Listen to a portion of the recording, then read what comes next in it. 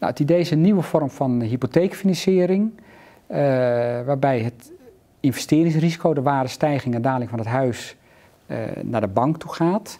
Dat moet natuurlijk eerlijk geprijsd worden, ook voor de bank. Dus uh, niet alleen de daling, maar ook een groot deel van de stijging van de huizenprijs is dan voor rekening van de bank.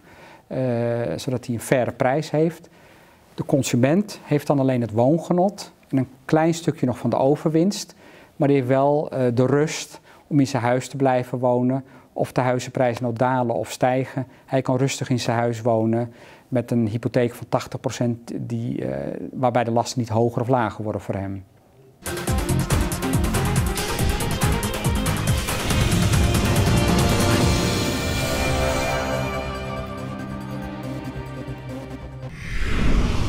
Het werkt als volgt. Uh, de consument stopt 10 tot 20 procent er zelf in als eigen vermogen.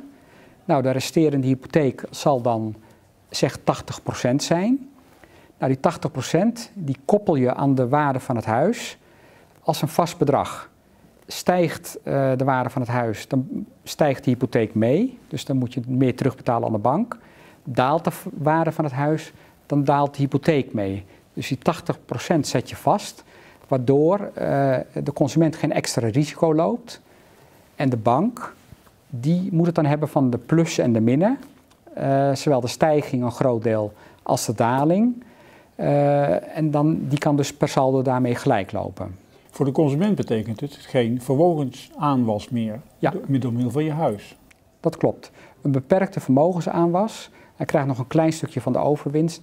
Maar als we ook eerlijk zijn, je koopt het huis primair uh, om het woongenot te hebben.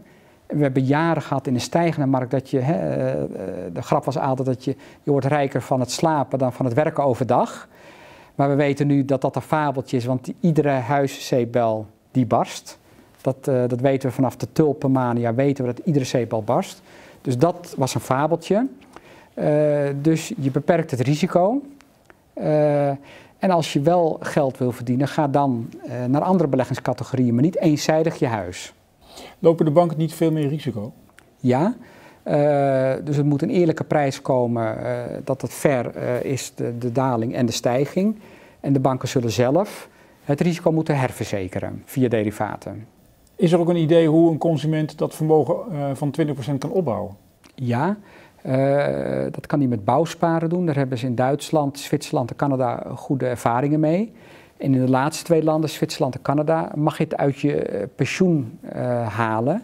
Hebben hier natuurlijk ook hele grote pensioenbesparingen. We hoeven dus niet meer te sparen. Dus gebruik een stuk van je pensioenpremie voor je eigen woning. Uh, en als je natuurlijk met pensioen gaat, dan heb je ook meer, minder schuld. Dus je, je woonlasten zijn dan ook lager.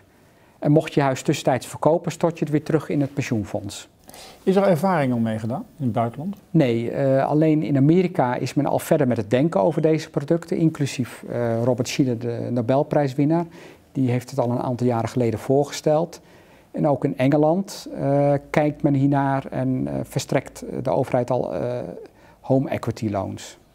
Um, is dit een idee wat werkt in elke markt of alleen maar in een stijgende markt of juist niet? Je moet het implementeren in een neutrale of stijgende markt. Want als je naar beneden gaat, stapt natuurlijk geen enkele bank erin. Ja, maar dat betekent nu is de markt stijgend, dus nu zou het kunnen. Ja, maar de markt is nu nog mondjesmaat stijgende. Dus ik zou zeggen, start met het denken. Want dit soort productontwikkeling kost toch een paar jaar. Dus start, uh, daarom oproep nu ook nu, start met het denken. Zodat over twee jaar het product klaar is.